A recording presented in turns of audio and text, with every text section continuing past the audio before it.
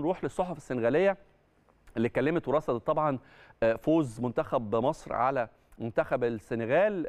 ويو سبورت قالت في عنوانها مصر تنتقم من بطل إفريقيا ووضعت حدا لسلسلة الاسود التي لم تهزم في المباريات الرسمية منذ فبراير 2019 وده طبعا قبل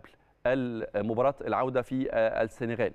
صحيفة لو سولاي قالت إنه مصر فازت بأصغر نتيجة هدف واحد مقابل صفر على السنغال بهدف في مرماهم سجل سجلوا ساليو سيسي في الدقيقة الرابعة من الشوط الأول وجاء الهدف بعد تسديدة من الجبهة اليسرى لمحمد صلاح جت في العارضة قبل أن ترتد من جديد. صحيفة سود كوتيديان قالت إنه ذهاب قطر 2022 مصر تلعب الذهاب والفراعنة تنتقم من أسود الترانجا تعرض فريق أليو سيسي للهزيمه أمام مصر بنتيجة 1-0 في مباراة ذهاب التصفيات المؤهلة لمونديال قطر قطر وهكذا سقط بطل إفريقيا في كأس الأمم 2021 بالكاميرون أمام الفريق الذي هزمه بركلات الترجيح في 6 فبراير.